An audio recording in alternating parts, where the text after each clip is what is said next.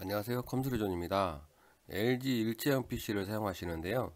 어, 원래도 느렸고 그 다음에 이제 오류 때문에 사용할 수 없을 정도라고 해서 어, 저희가 출장을 가게 됐고요.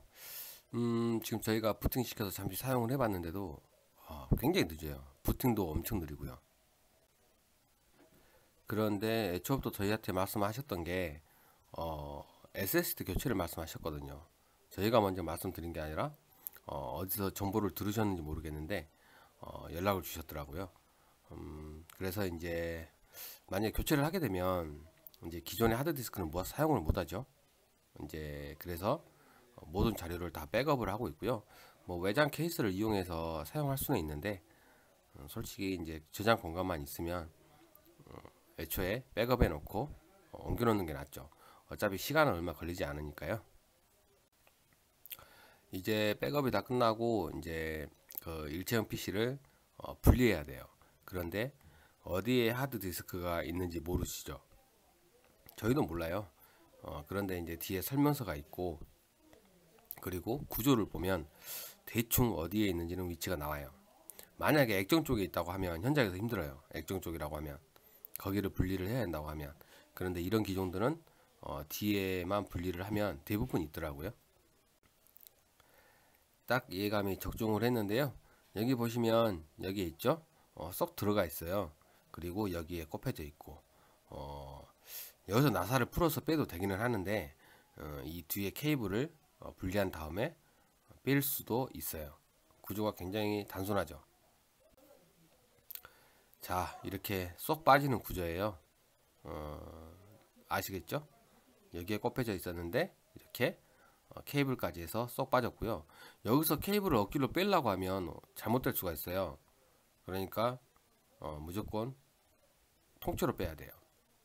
그리고 어, 2.5인치 그 노트북에 들어가는 하드 디스크인데 어, 디스크 형식이죠. 당연히 속도는 느릴 수밖에 없어요.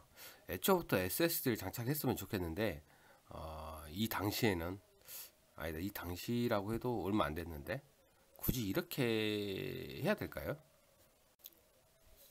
이런 식으로 다시 어, 고무 틀도 양면에 끼워주고 케이블도 이렇게 바꿔 껴줬어요. 이게 딱 완성된 거예요. 어, 이 정도면 아마도 남성분들도 쉽게 할 수 있을 거예요. 드라이브 하나만 있으면.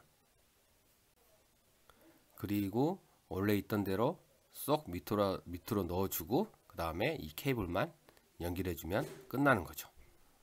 그리고 다시 뚜껑도 조립해 드리고요. 이런 기종은 현장에서 충분히 가능한 거고요. 어, 현장에서 불가능한 기종들이 있어요. 항상 그런 기종들이 있긴 한데 특히 최신 기종 액정 자체를 다 뜯어야 되는 기종 그거는 이제 시간이 필요하고 어, 기술이 필요하기 때문에요. 별도로 작업을 하셔야 돼요. SSD 교체가 끝났으면 이제 프로그램도 설치를 해야 되겠죠. 어, 기존에 쓰시던 대로 이제 윈도우 10으로 설치를 해 드렸고요. 이렇게 인터넷 연결까지. 그리고 윈도우를 설치하면 당연히 드라이버는 설치하는 거예요. 뭐 드라이버 따로, 뭐 따로, 뭐 따로 이런 건 없어요. 무조건 윈도우 설치하면은 드라이버는 당연히 설치를 해줘야지 사용할 수가 있는 거고 여기서 이제 뭐 프로그램이 필요하면 이제 필요 필요한 만큼 말씀을 하시면 이제 그건 또 별도로 설치가 되는 거고요.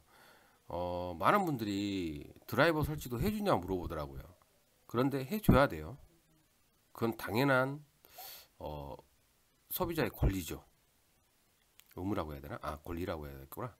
아무튼 현장에서 바로 조치를 해드렸고요. 이전보다는 속도는 대폭 빨라졌어요. 어, 아마 체감상으로도 한 네다섯 배 이상은 될 거예요. 어, 메모리가 만약에 부족하면 메모리는 못해도 한 4기가 정도는 그 탑재를 해주는 게 좋고요. 어, 가장 최적화된 거는 한 8기가 8기가 정도의 SSD를 장착하면 굉장히 빨라지죠. 현장에 조치해 드렸어요.